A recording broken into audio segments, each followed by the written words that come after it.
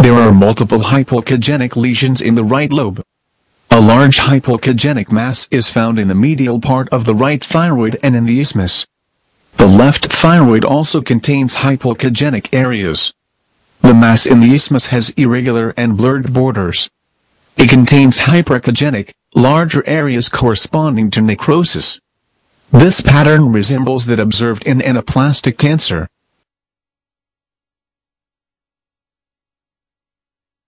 The vascularization is decreased.